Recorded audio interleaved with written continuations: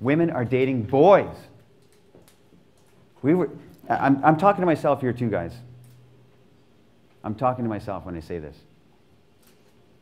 I was raised, like I said, uh, all of us were raised, we're playing with our, with, with our toys, PlayStation, and we're still doing it now. The difference is we're not having fun anymore. We used to have fun.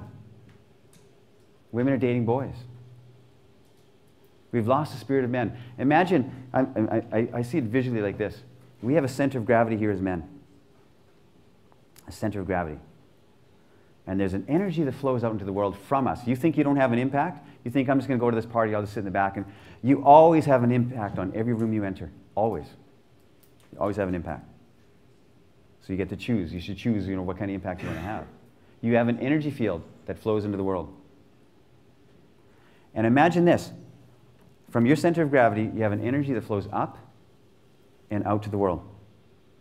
An upward, outward flowing energy like this. This is you being charming, being funny, being the life of the party, respectful, opening the door. Uh, um, all of these things like uh, respect and charm and empathy and listening and curiosity, all these wonderful things, storytelling, telling jokes, is all a wonderful upward flowing energy.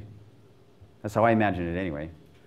Imagine if you're, a, for instance, on a job interview, you're sitting up straight, and everything about you is high energy. You're looking at the guy across from you, and even your eye contact, if, if, if, it makes sense, is high. It's a high energy. Yes, yes, okay, yeah, and I did this.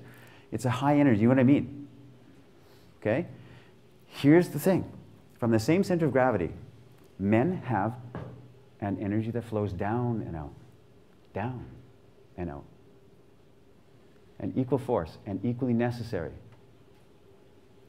This is your mystique, your masculine edge, your sexual, your sexual nature, your, your, your strength, your danger,